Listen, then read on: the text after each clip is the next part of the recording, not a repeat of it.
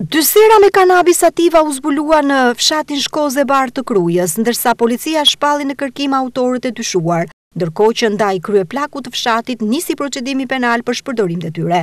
Shërbimet e komisariatit të policisë Krujë kanë organizuar kontrolle në territorin e fshatit Shkozë e Bardhë, në njësinë administrative Thumanë, Krujë.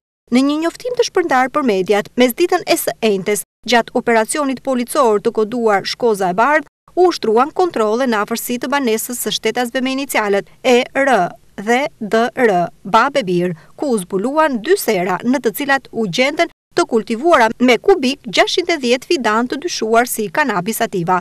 Specialistët për hetimin e krimeve në vijim të veprimeve për këtë rast kanë shpallur në kërkim shtetasit e sipërpërmendur, pasi gjatë kontrollit që ka ushtruar policia, ata nuk janë gjetur në banesë.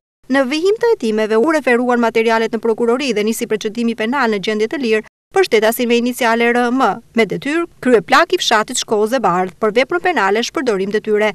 Vijojnë kontrollet për lokalizimin dhe kapjen e dy shtetasve të shpallur në kërkim. Materialet i kaluan Prokurorisë për hetime të mëtejshme.